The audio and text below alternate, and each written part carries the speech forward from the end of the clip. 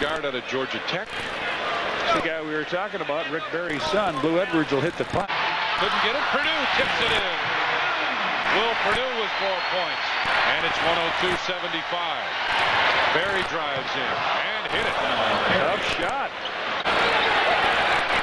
Inside Stacey King. Turnaround jump shot.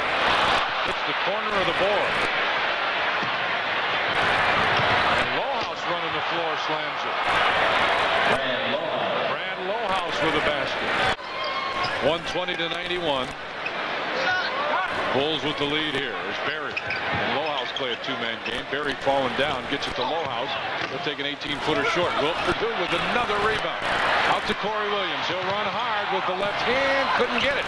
Paxson with the offensive rebound. Didn't see Barry coming behind it. Barry.